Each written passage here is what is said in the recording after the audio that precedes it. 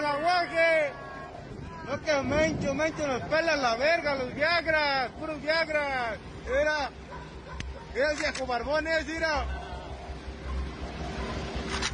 One fateful day, a group of sicarios from the Los Viagras cartel filmed themselves laughing at El Mencho, the leader of the Jalisco New Generation Cartel, or CJNG. 24 hours later, the man filming was captured and killed in the most brutal way imaginable. The whole ordeal was filmed and posted online, becoming one of the most infamous CJNG videos to date. This story does not glorify cartels and their unspeakable brutality. What the CJNG did to this poor man is absolutely shocking and heartbreaking. And sadly, it's just a chapter in the seemingly endless book of cartel violence.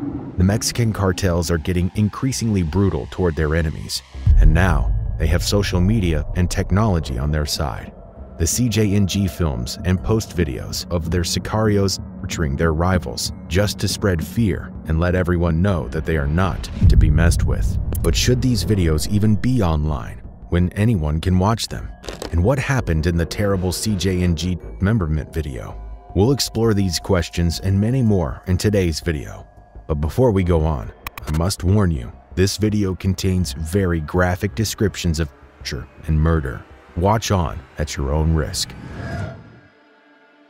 We can't talk about today's topic without talking about the CJNG first. The Jalisco New Generation Cartel was formed in 2009 by ex-cop Nemesio Oseguera Cervantes, aka El Mencho. Indeed, Mexico's most wanted man was once a police officer, but it's safe to say his heart was never in it. As soon as he founded his cartel, he used all of his previous expertise to form an impeccable military trained army.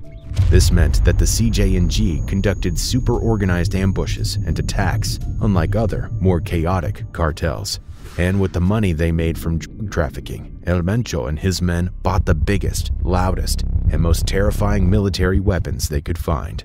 And in July, footage emerged of that CJNG convoy. These gunmen call themselves the Elite Group and pledge allegiance to El Mencho.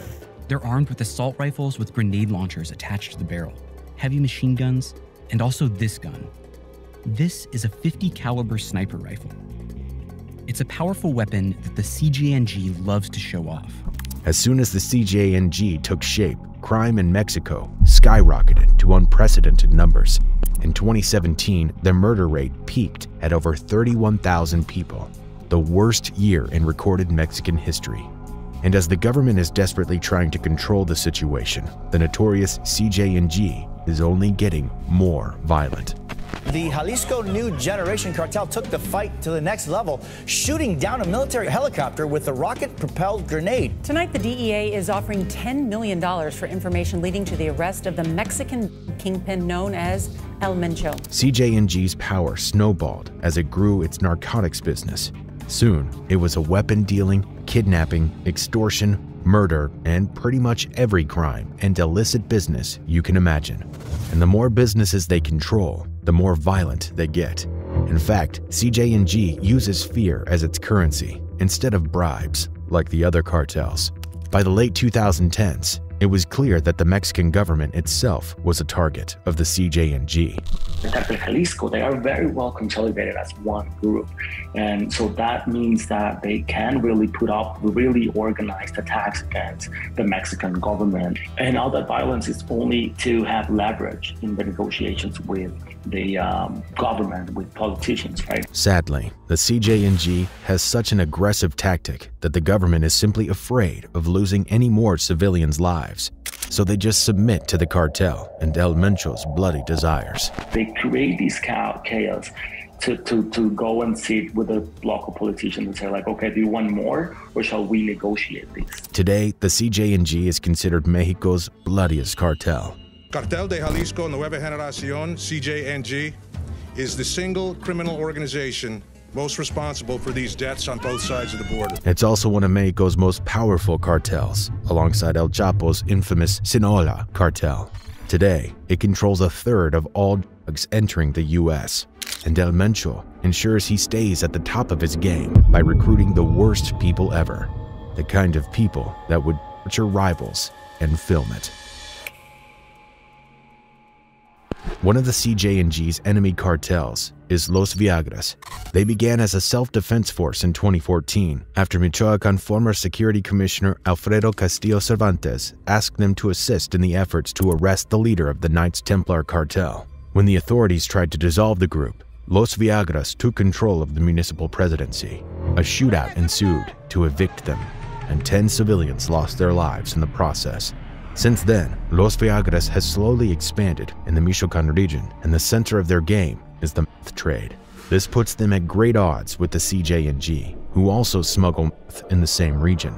For almost a decade, CJNG and Los Viagras have been fighting to the death over territory, and some of these fights end up in the most brutal way imaginable. Trigger warning. The next few minutes will deal with the incredibly gruesome death of a Los Viagras member. If you don't want all the gory details, you can skip ahead two minutes. And even if you do want the details, I ask you not go looking for the actual video online. It is truly traumatizing to see the reality of such deaths, and it does no good whatsoever. That being said, let's move on. The video begins with a Los Viagra member, captured and chained by his neck. He is held in a torture chamber by two CJNG sicarios, both wearing masks and combat vests and armed to their teeth. One of the men talks to the camera and says, I send my regards to all of you who keep acting out, especially you, Gordo and Chava. Look at how I got your people. Look at them. Is this what you all want? You do know him, yes? You better step up your game. By Gordo, he is referring to the Los Viagras kingpin, Nicolas Sierra Santana, aka El Gordo. As he says these, the victim is heard in the background, whimpering and pleading for his life. But by then, he probably knew there was no chance he was getting out alive. It's more likely he was pleading for a quick death, but that wasn't going to happen either. As soon as the CJNG Sicario stopped talking, he took out a large hunting knife and cut off the man's left leg at the knee. Then he beat the man with his own leg and mocked him for claiming to be tough before. As the victim cried and begged for him to stop, the Sicario replied, What do you mean no more? This one's for you, Chava, just so you can see how I have your people. Look at how I have them. Within a few seconds, the second leg came off. As he beat his victim with it, the man laughed on camera, urging El Chava to keep sending his men to Nueva Italia, where they found and kidnapped this victim. In the same manner, the Sicario proceeds to remove the man's both arms, all the while laughing, mocking him for being a part of Los Viagras and threatening the cartel's bosses. The worst part? All the way until the very end, the victim is fully conscious. It's highly possible that the Sicarios pumped him full of drugs beforehand, making sure he felt every second of it.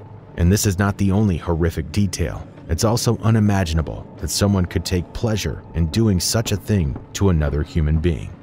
The men are laughing as they completely butcher their victim in under three minutes. It's clear they have done this before, and they are completely desensitized to extreme violence. Not only do they not care for someone else's suffering, they are proud of their line of work. If prison wasn't a risk, they would probably show their faces on camera too. They feel no shame or remorse. They are true, real-life monsters. The video ends with a bit that the Sicarios filmed before killing their victim. The man is shown still fully clothed, talking about his regrets about joining Los Viagras. He says that the Los Viagras cartel is nothing and praises the CJNG. Of course, he was forced to say this. And what did this man do to deserve this?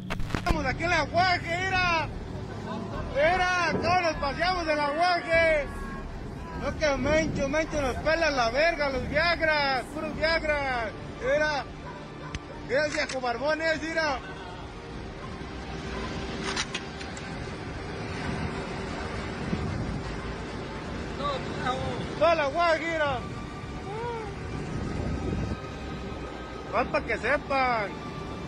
Well, he just worked for the wrong people, in the eyes of El Mencho.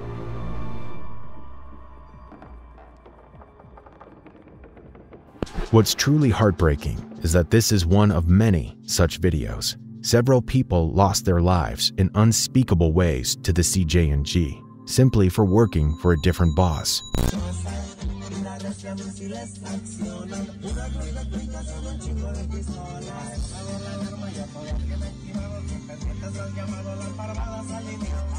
Around the same time as this memberment video, another video went viral showing El Mencho's psycho clown army. This army, led by Fabian Urbino Morales, was responsible for one of the worst CJNG videos, where they skin their victim alive and offer him water as a joke. Honestly, the reality of the CJNG hitmen is much worse than horror movies.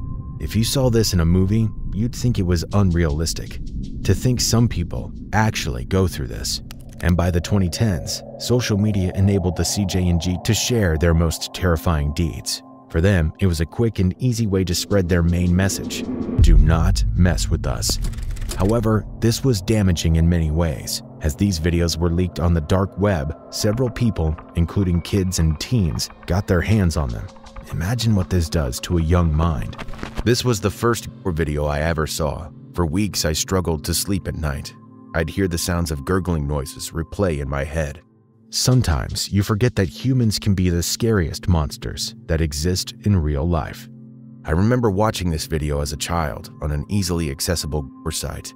I truly believe my ignorance and freedom as a child watching stuff like this is the reason for some of my problems and desensitized mind. Now, the CJNG isn't just terrorizing the people close to them, the rival sicarios and the civilians who get caught in the shootouts. They also terrorize thousands of people online, spreading violence, fear, and trauma.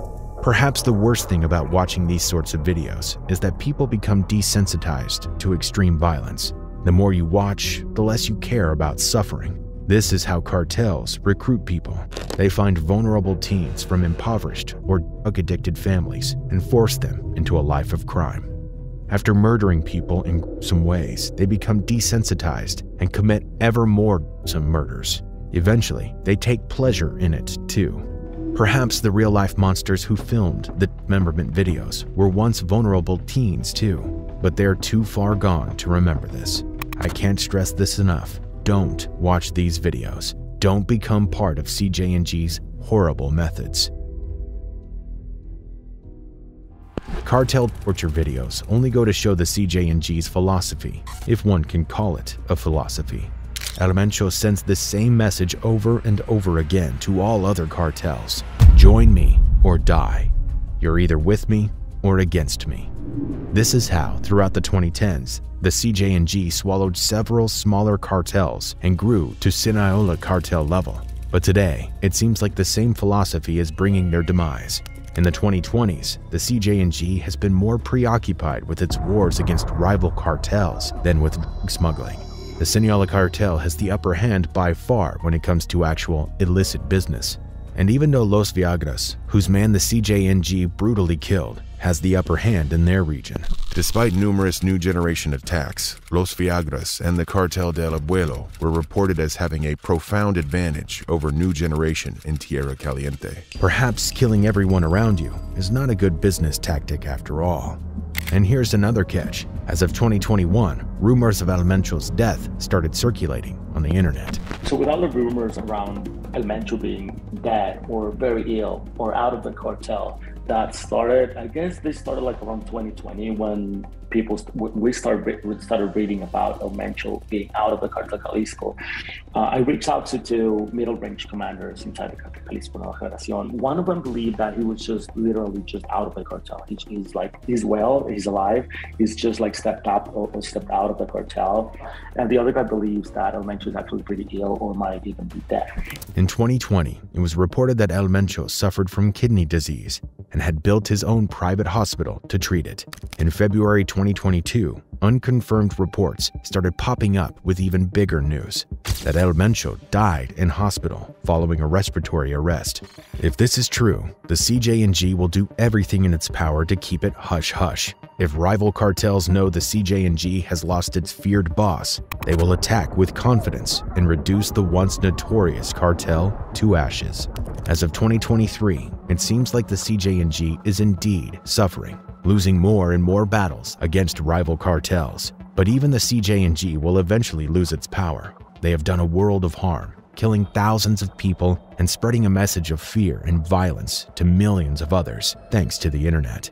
Their horrifying videos might just inspire newer cartels to grow into even more violent enemies.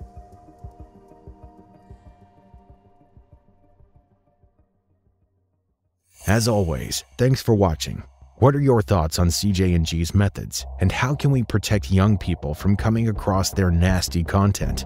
Let me know what you think in a comment. And before you go, don't forget to like and subscribe. See you next time.